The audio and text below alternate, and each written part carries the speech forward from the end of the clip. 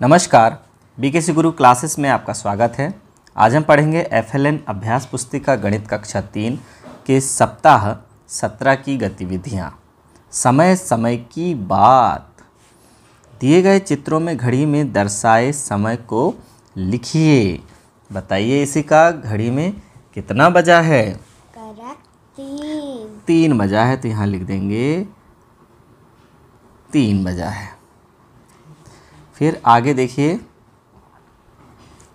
यहाँ पर जो समय है ये कितना बजा हुआ है इसी का बताइए? नौ। बजा है। यहाँ पर ये कर दिया हमने। नौ। अब ये देखिए यहाँ पर। तीसरी घड़ी में कितना समय हुआ है? छः बजा है तो यहाँ लिख देंगे छः। और ये चौथी घड़ी में हम देख रहे हैं कि छोटा और बड़ा दोनों सुइयाँ कहाँ पर हैं? बारह पर हैं। तो कितने बजे हैं? बारह। बारह बजे हैं। इस तरह से हमें घड़ी पर टाइम देखना है। आप देखिए, आगे है। दिवस छः में जुलाई 2022 का कैलेंडर देखकर निम्न प्रश्नों को हल कीजिए। हमारे पास कैलेंडर है जुलाई 2022 का। पहला प्रश्न है जुलाई माह में रविवार के दिनों की संख्या। जितने ये जो देखिए, रविवार हम नाप लेते हैं। एक, दो, तीन, चार, पाँच। तो पाँच रविवार हैं। जुलाई माह में कितने रविवार हैं? पाँच रविवार हैं। फिर देखिए, जुलाई माह में कुल दिनों की संख्या। जुलाई माह में ये देखिए, सबसे पहली तारीख है। एक और सबसे आखिरी तारीख है इकतीस, कुल इकतीस दिन हैं। कितने दिन होते हैं? इकतीस दिन होते हैं। तो बच्चों, हम यहाँ पर एक और बात सीखते हैं कि किस माह में कितने दिन होते हैं। तो हमें यहाँ पर ध्यान रखना है। अप्रैल, जून, सितंबर और नवंबर। ये चार महीने होते हैं हमारे तीस दिन के। शेष सभी महीने होते हैं इकतीस दिन के। ये हमें याद रखना है, अप्रैल, जून, सितंबर, नवंबर। लेकिन इनसे कम दिनों का भी एक माह होता है, वह होता है फरवरी।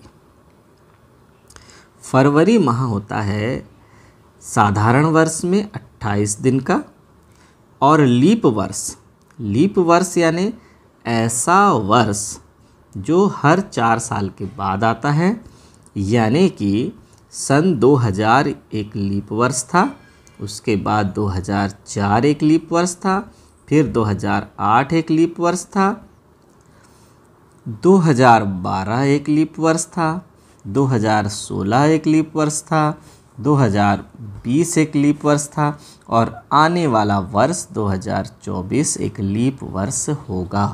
तो हमें ध्यान रखना है कि आखिरी के दो अंकों में यदि चार का भाग पूरा पूरा जा रहा है तो वह साल लीप वर्ष है। जैसे 2023 में आखिरी में कितना है? तेईस है। 2022 में आखिरी में कितना है? बाईस है, जिसमें चार का पूरा भाग नहीं जा रहा है। मतलब ये लीप वर्ष नहीं है, जबकि 24 में चार का पूरा भाग जा रहा है 20 में जा रहा है 16 में जा रहा है 12 में, आठ में, चार में और डबल ज़ीरो वाली संख्या है तो वो भी हम मान्य करते हैं। ऐसी संख्याओं में हमें पता चल जाता है कि यह लीप वर्ष है। लीप वर्ष में फरवरी होती है उनतीस दिन की, साधारण वर्ष में अट्ठाईस दिन की, लीप वर्ष में उनतीस दिन की। तो देखिए, हमें पता चल गया कि अप्रैल, जून, सितंबर और नवंबर तीस दिन के हैं। बाकी के शेष छः महीने हमारे इकतीस दिन के हैं और सातवां महीना, ये जो फरवरी को हम ले रहे हैं, यह अट्ठाईस और उनतीस दिन का होता है। साधारण वर्ष में अट्ठाईस दिन और लीप वर्ष में उनतीस दिन का होता है। इस तरह से कुल बारह महीने होते हैं। अगला है, अक्टूबर 2022 के कैलेंडर को देखकर निम्न प्रश्नों के उत्तर दीजिए। पहला प्रश्न है, अक्टूबर 2022 माह में कौन से दिन पाँच बार आ रहे हैं? तो देखिए, कौन से दिन पाँच बार आ रहे हैं? शनि, एक, दो, तीन, चार, पाँच। रवि एक दो तीन चार पाँच और सोम एक दो तीन चार पाँच। तो यहाँ लिख देंगे शनि, शनिवार, रवि, रविवार और सोम, सोमवार। ये दिन पाँच बार आ रहे हैं। अगला है, अक्टूबर 2022 माह में कौन से दिन चार बार आ रहे हैं? चार बार आने वाले दिन कौन कौन से हैं? मंगल, बुध, गुरु, शुक्र।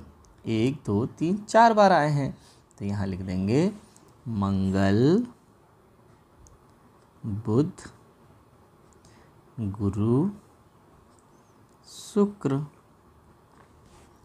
आगे है, जनवरी माह में आने वाले मुख्य त्यौहार कौन से हैं? जनवरी माह का कैलेंडर तो यहाँ नहीं है, पर फिर भी हम बता सकते हैं, जनवरी माह में आने वाले मुख्य त्यौहार कौन कौन से हैं? तो देखिए बच्चों, सबसे पहला त्यौहार है मकर संक्रांति। मकर संक्रांति। यह आता है चौदह जनवरी को। चौदह जनवरी को। फिर है बच्चों गणतंत्र दिवस। गणतंत्र दिवस कब आता है इसी का? छब्बीस जनवरी को। इस तरह से बच्चों आगे बढ़ते हैं अब। जनवरी माह में आने वाले राष्ट्रीय त्योहारों के नाम लिखिए। तो राष्ट्रीय त्यौहार कौन सा है? जनवरी माह में आने वाले राष्ट्रीय त्यौहार हैं, गणतंत्र दिवस। दिवस कब आता है? 26 जनवरी को आता है। आगे बच्चों, छठवें दिवस में ही है। अक्टूबर 2022 की 20 तारीख को कौन सा दिन है? अक्टूबर 2022 हमारे पास कैलेंडर है। उसकी 20 तारीख को ये 20 तारीख है और 20 तारीख को गुरुवार है। तो यहाँ लिख देंगे 20 तारीख को कौन सा दिन है? गुरु है। तो यहाँ लिख देंगे, गुरु। आगे, वर्तमान माह में कितने सोमवार हैं? वर्तमान माह तो यहाँ लिख देंगे बच्चों, वर्तमान माह चल रहा है अगस्त 2023 तो इस माह में तो चार सोमवार हैं। हमें यह पता लगाना बहुत आसान है। 28 तारीख के बाद जो जो दिन आते हैं बच्चों, वे दिन पाँच बार आते हैं। जो दिन 28 तारीख के बाद आते हैं, वो माह में पाँच बार आते हैं। वर्तमान माह के तीसरे सप्ताह के गुरुवार को कौन सी तारीख है? वर्तमान माह है अगस्त 2023 तीसरा सप्ताह, यानी कि 15 तारीख से लेकर 21 तारीख तक। तो वर्तमान माह के तीसरे गुरुवार को सत्रह तारीख थी। फिर आया स्कूल प्रारंभ होने के समय को घड़ी में सुइयों द्वारा दर्शाइए। तो बच्चों, आपको एक घड़ी यहाँ पर बनाना है और आपका स्कूल कितने बजे प्रारंभ होता है, उस समय को उस घड़ी पर बना देना है। आगे है, घड़ी में मिनट की सुई एक बार पूरा घूमने पर कितने घंटे होंगे?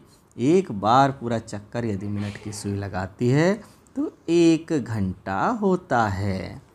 तो बच्चों, अब हम आगे बढ़ते हैं। दिए गए घड़ी के चित्र में अभी कितना समय हुआ है? तो ये छोटी सुई छः के आगे है और बड़ी सुई तीन पर है तो छः बजकर पंद्रह मिनट। छः बजकर पंद्रह मिनट का समय यहाँ हुआ है।